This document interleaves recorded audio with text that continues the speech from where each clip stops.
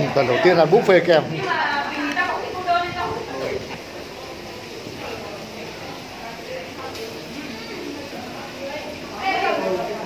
Thank you.